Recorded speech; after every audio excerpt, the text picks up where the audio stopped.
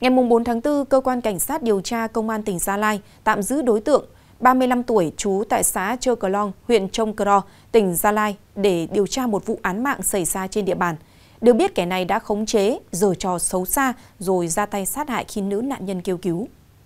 Trước đó vào chiều 20 tháng 3, sau khi đã uống rượu, đối tượng Đinh I.O. 35 tuổi, chú xã Chơ Cờ Long, huyện Cờ Đông Cho, tỉnh Gia Lai, đi đến khu vực dãy mì thuộc thôn 5, xã Pờ Tó, huyện Iapa, tỉnh Gia Lai. Trên đường đi, Đinh io thấy chị DA 46 tuổi đang đứng tại tròi giấy nên nảy sinh ý định giờ trò xấu xa. Sau đó, Đinh io nhặt vật cứng bằng gỗ, đánh vào đầu, đe dọa và làm nhục chị DA. Sau đó vì quá sợ hãi, nạn nhân đã bỏ chạy ra khỏi tròi giấy la lớn tìm người ứng cứu. Thấy vậy Đinh io đuổi theo sát hại nạn nhân. Sau khi gây án, Đinh Io đã bỏ trốn khỏi hiện trường, di chuyển qua nhiều huyện, thị trên địa bàn tỉnh Gia Lai để lẩn trốn. Tới trưa ngày 3 tháng 4, lực lượng công an đã tiếp cận, bắt giữ Đinh Io khi đối tượng đang lẩn trốn tại khu vực phường Treo Reo, thị xã Ayunpa, tỉnh Gia Lai. Hiện vụ việc đang được tiếp tục điều tra và làm rõ. Chắc hẳn nhiều người theo dõi vụ việc xảy ra vào hôm 6 tháng 5 tại cửa hàng thời trang ở Vĩnh Phúc đều không khỏi giật mình trước sự táo tợn và ngang ngược của đối tượng Phạm Văn Cường, sinh năm 1992. Trên tay kẻ này lăm lăm hung khí sắc bén để khống chế uy hiếp người phụ nữ ở trong cửa hàng, chiều theo ý muốn của mình. Rất may là người phụ nữ này đã bình tĩnh, nhanh trí đánh lạc hướng đối tượng, để đối tượng mất cảnh giác rồi giằng lấy hung khí, hô hoán để mọi người bắt giữ. Mặc dù đối tượng chưa thực hiện được hành vi đối với nạn nhân, nhưng việc dùng vũ lực nhằm ép buộc người khác thỏa mãn ham muốn đã cho thấy sự manh động và coi thường pháp luật của đối tượng này. Theo nội dung từ bài đăng trên báo điện tử Vietnamnet liên quan tới vụ việc trên, tiến sĩ luật sư Đặng Văn Cường cho hay, theo quy định của pháp luật, tội ép buộc người khác quan hệ trái ý muốn có cấu thành hình thức, tức là chỉ cần đối tượng thực hiện hành vi khống chế, đe dọa hoặc lợi dụng tình trạng không thể tự vệ được của nạn nhân để thực hiện hành vi quan hệ trái ý muốn với nạn nhân. Không phụ thuộc đối tượng đã thỏa mãn nhu cầu sinh lý hay chưa, hành vi vẫn cấu thành tội phạm theo quy định tại Điều 141 Bộ Luật Hình sự. Nhìn nhận vụ việc dưới góc độ pháp lý, tiến sĩ luật sư Đặng Văn Cường bày tỏ quan điểm, trước tiên phải khẳng định hành vi của đối tượng Cương là rất manh động, liều liều lĩnh và xem thường pháp luật. Việc Cương cầm hung khí khống chế đe dọa nạn nhân, đòi giờ cho đôi bại đã đủ dấu hiệu cấu thành tội theo khoản 1, Điều 141 Bộ Luật Hình sự năm 2015. Đối tượng có thể sẽ phải đối mặt với khung hình phạt từ 2 đến 7 năm tù. Thông tin ban đầu từ phía cơ quan chức năng, tại thời điểm bị bắt giữ, đối tượng có sử dụng rượu bia, có thể việc bị tác động hưng phấn bởi chất kích thích khiến cho đối tượng thực hiện hành vi manh động hơn, liều lĩnh hơn. Tuy nhiên, theo quy định của luật, việc sử dụng rượu bia hoặc chất cấm không phải là căn cứ để loại trừ trách nhiệm hình sự. Bởi vậy, mặc dù đối tượng thực hiện hành vi hiếp dâm tại thời điểm có hơi men, thậm chí say rượu bia, thì đối tượng này vẫn phải chịu trách nhiệm hình sự. Theo luật sư, cơ quan điều tra sẽ tiếp tục làm rõ nguyên nhân sự việc, làm rõ diễn biến hành vi của đối tượng gây án, đánh giá tính chất nghiêm trọng của sự việc để làm căn cứ giải quyết theo quy định của pháp luật.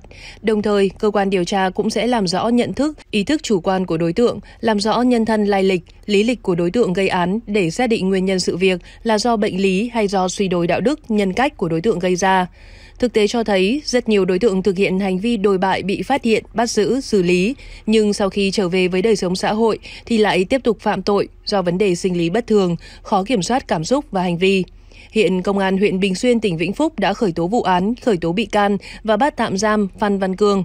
Dù chưa biết đối tượng trong vụ việc trên sẽ đối diện với mức án nào, nhưng sự bình tĩnh thông minh của chủ shop quần áo đã khiến cho nhiều người khâm phục.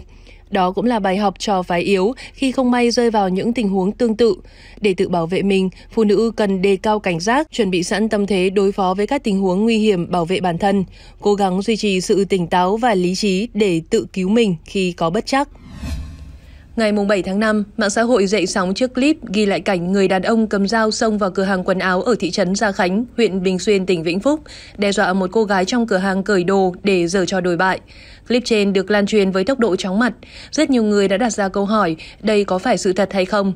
Vào sáng ngày 8 tháng 5, một cán bộ đại diện công an huyện Bình Xuyên, Vĩnh Phúc xác nhận clip trên không phải gian dựng mà là một sự việc có thật xảy ra trên địa bàn huyện. Công an huyện Bình Xuyên đã bắt giữ một người đàn ông có hành vi dùng dao đe dọa, khống chế, ép nữ chủ cửa hàng quần áo trên địa bàn thị trấn Gia Khánh, huyện Bình Xuyên phải đồng ý quan hệ trai gái, sau đó đột nhập bất hợp pháp nơi ở của nạn nhân.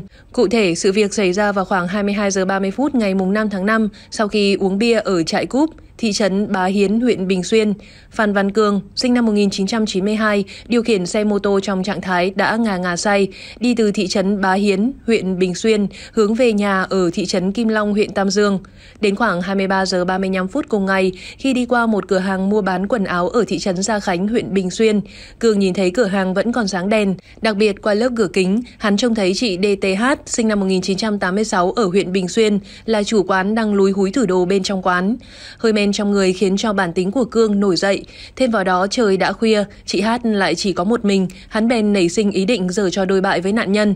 Nghĩ là làm, nghi phạm Cương đã đỗ xe mô tô ở phía trước cửa hàng, lấy con dao dài 32cm, xông vào trong cửa hàng và đến vị trí của chị Hát đang đứng. Do không có sự chuẩn bị trước, lại bị tấn công bất ngờ, chị Hát mặt trắng bệch, chỉ biết đứng im trước loạt hành động táo tợn của Cương. Đối tượng dùng hung khí sắc nhọn đe dọa chị Hát phải cờ đồ rồi cho hắn quan hệ, nếu không hắn sẽ sát hại chị. Theo hình ảnh được camera trong cửa hàng ghi lại, Cương một tay cầm hung khí, một tay ghi cổ để chị Hát không thể chạy trốn hay kêu la. Đối tượng liên tục dùng hung khí áp sát vào người của chị Hát, đồng thời yêu cầu chị phải cởi quần cho hắn thỏa mãn. Nhận thấy tình hình hiện tại, nếu cứ cố gắng phản kháng thì sẽ khiến cho bản thân bị thương. Chị Hát đã nhanh trí, giả vờ sợ hãi, đồng ý với yêu cầu cởi đồ để cho Cương thực hiện hành vi quan hệ. Sau đó nạn nhân tìm lý do để trì hoãn là đeo bao, kéo dài thời gian, mong sẽ có ai đó đi qua trông thấy giúp đỡ. Tưởng nạn nhân không còn phản kháng, đối tượng buông bỏ cảnh giác, đặt hung khí xuống bàn, uống nước, rồi ôm ghi lấy chị Hát. Nhân lúc nghi phạm lơ là, chị Hát giật được con dao, đồng thời hô hoán người dân xung quanh đến giúp đỡ. Thấy vậy, Cương đã bỏ chạy trong tình trạng quần bị tụt nửa ra ngoài, thì bị quân chúng nhân dân bắt giữ. Lúc bị bắt, đối tượng Cương có biểu hiện sử dụng rượu bia. Ngay sau đó, Cương được đưa về trụ sở công an huyện Bình Xuyên để điều tra xác minh làm rõ hành vi. Tại cơ quan điều tra, nghi phạm Cương đã khai nhận toàn bộ hành vi phạm tội của mình. Hiện công an huyện Bình Xuyên đã ra quyết định khởi tố vụ án hình sự, khởi tố bị can và bắt tạm giam đối với Phan Văn Cương về hành vi gây án táo tợn trên. Liên quan tới vụ việc, bà Nguyễn Thị Thu Thanh, Chủ tịch Ủy ban Nhân dân thị trấn Gia Khánh, huyện Bình Xuyên, tỉnh Vĩnh Phúc cho biết, ngay trong ngày 8 tháng 5, chúng tôi đã có văn bản gửi đến các khu dân cư, tuyên truyền trên loa truyền thanh về việc tăng cường an ninh trật tự, cảnh giác với những đối tượng lạ mặt, không phải là người địa phương. Sự việc trên cho thấy nguy hiểm luôn rình rập ở xung quanh chúng ta, không phải cứ ra đường thì mới trở thành nạn nhân của những đối tượng biến thái, táo tợn. Tất cả mọi người, đặc biệt là các bạn nữ, cần luôn cảnh giác đề phòng trước những đối tượng lạ mặt khi thấy họ có hành vi đáng nghi. Giữ bình tĩnh cho bản thân và tìm đến sự giúp đỡ từ những người xung quanh hoặc cơ quan chức năng. Sáng ngày 8 tháng 5, bà Nguyễn Thị Thu Thanh, Chủ tịch Ủy ban Nhân dân thị trấn Gia Khánh, huyện Bình Xuyên, tỉnh Vĩnh Phúc cho biết, trên địa bàn vừa xảy ra vụ việc, một người đàn ông dùng hung khí có hành vi uy hiếp, ép người phụ nữ là chủ shop quần áo quan hệ. Ngay sau đó, lực lượng chức năng phối hợp cùng quần chúng nhân dân đã bắt giữ được đối tượng.